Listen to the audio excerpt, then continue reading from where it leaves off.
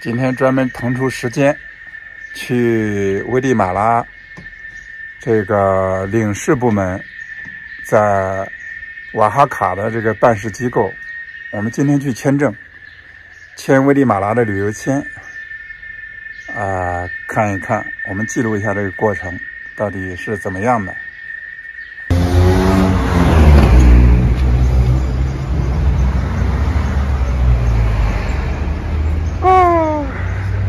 这就是危地马拉在瓦哈卡的一个签证的服务中心，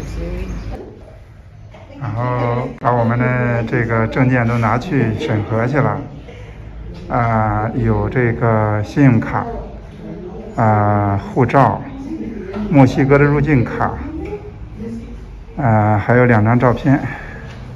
他拿来了好多这个危地马拉的旅行的。呃，资料，哇，好全啊！有地图啊，还有景点的介绍。但是他看到上面有一些是中文，其实那是日文，嗯，整个是日文的一个介绍。这是日文。对啊，这是日文。中文的介绍。我们现在就用了谷歌翻译啊，它这个登记的这个表格上面啊，是西班牙文和英文。那你可以用英文进行填表，那我们用谷歌翻译，然后对照一点点把这个表格填了。两张交费的单据，每人五十美金，然后到指定的银行去交纳。OK，我刚才查了一下，离这里大概是一点四公里。交完钱之后呢，就是给了这两个收费的回单，然后就。继续回到签证中心去。啊，他这个这个工作的场所呢非常小，啊，也没有什么人，所以呢非常安静，嗯，来这里感受不错。嗯，签证都搞完了，就是这样的东西。这是银行缴款的，这个好像是什么也搞不太清，是一个收据。嗯，他是一个，这是他们一个负责人审批的签字盖的章。他怎么又又单弄一张纸呢？但是这是在护照上的签证，这个九十天的，九十天的。嗯，我这个是九十天单次往返。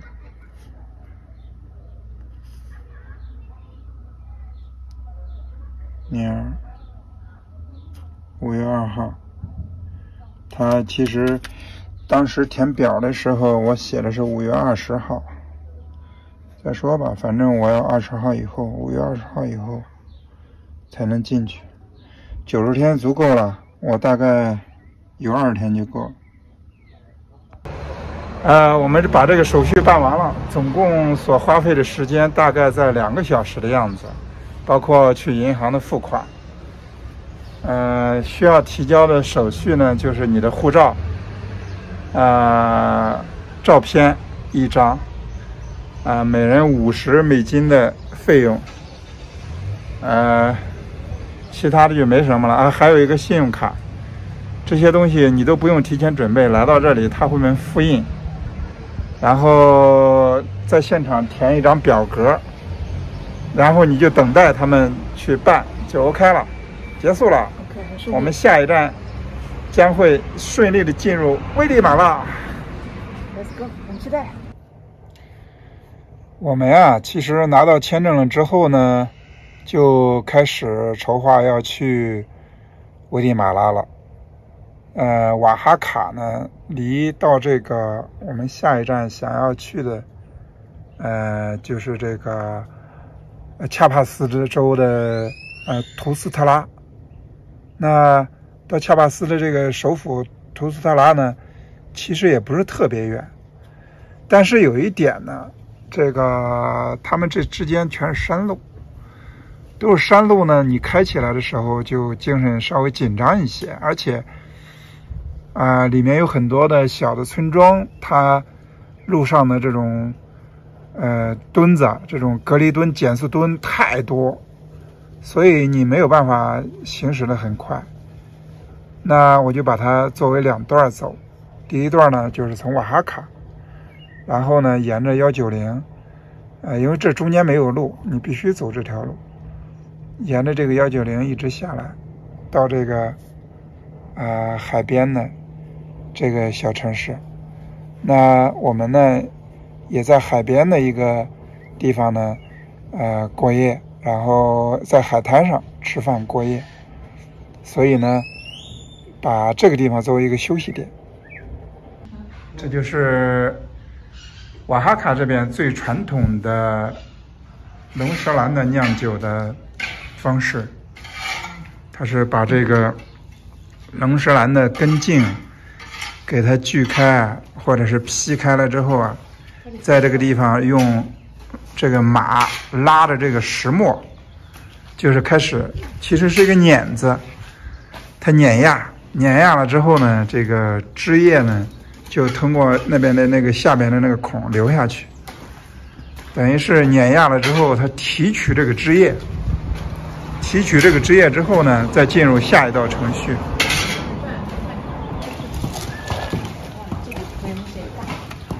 对啊，它大众，这一这一个一个马拉这个东西，感觉到它很吃力。对，但是这边它只能是一个马在拉呀。你看它压完了之后，就把这个枝叶压压碎。把这个根茎压碎，它底下的那个枝叶全部出来了。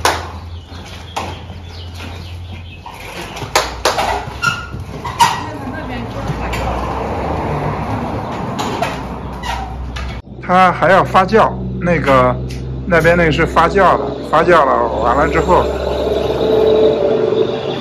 哦，看，这是发酵完的龙舌兰的这个根茎。这里头全是汁液，看，看，看，看，全是汁液，看，看，厉害吧？其实这个汁液提取出来之后呢，他们就在这边蒸馏，通过蒸馏之后就获取的，就是就是酒了。然后再有调酒师对口感进行勾兑。这是几个冷却的池子，这是蒸馏用的大锅，在这边烧木头加热。呃，这个地方叫米特拉，然后几乎是家家户户都有这种。酿酒的这个作坊，所以你不管喝什么样的酒，或许这个龙舌兰，你喝到的就是出自于这个地方。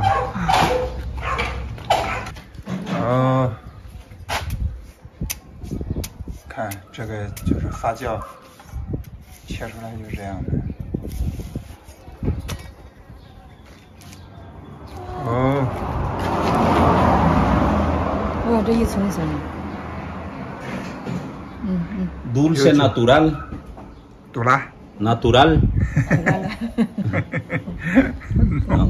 嗯哇，这很漂亮。对， Ocho años para poderlo maduro. Ocho años. OK。哎，这纸纸要叠的，你看到吗？嗯，可以吃啊，就像吃甘蔗一样，嚼。很甜的，对对对对，就是很甜啊。我们这所以，所以 Este es el arroqueño, flaco. Y este es Tobalá. 这个是 C Mira, 开头。哈哈，OK，啊，他告诉我是三个哦，三个不同的品种。哦，这个是这个品种的。哦，是这个。哦，OK。Este es el arroqueño tuéste flaco.。哦。哦。这哦 OK OK，这是这个品种的 OK OK OK。哦啊，这是个新的品种吗？这个哦，这是这个品种的啊，它是不同的品种，然后出不同的酒，它是这样的。Best? 它这是啊几种？啊 OK，呃呃，三百，三百比索，三百比索这一瓶啊，这一瓶这是一斤吗？呃，这个差不多，这是一斤的，哎是，这是一斤的，哪个是三百的？啊，这个这也是三三百的。这也三百。这也是三百，然后 C 这个是四百是吧？啊，这个是四百的，这个应该是最好的，是吧？通过讨价还价之后，我们要一公斤，给了二百块钱。啊，我们参观酿酒以及买酒的那个地方呢，其实是它属于瓦哈卡的州，啊、在瓦哈卡的东南部分，然后 沿着幺九零呃这个山路一直向海边开进的过程当中，是这么一个地方，呃，它作为这个主产区。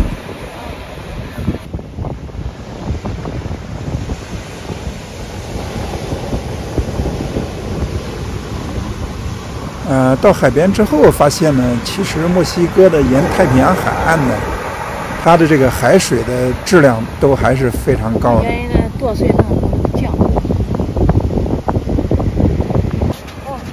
哇！哇，好大！呃其实他们海边的这个餐馆啊，做饭一点也不好吃，只不过呢，我们吃了他的饭呢，呃，就可以在他的这个呃免费停车，是这样的。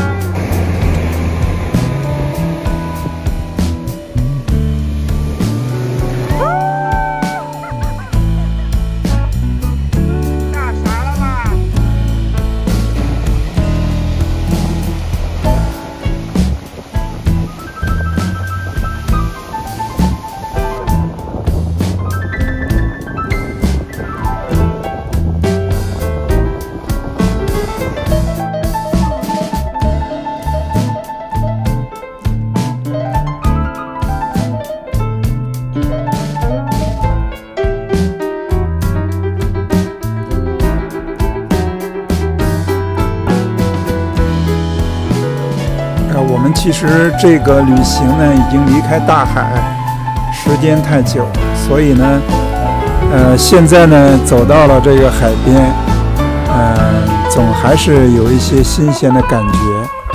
那我们就借了这个机会呢，在这里呃尽情的玩耍吧。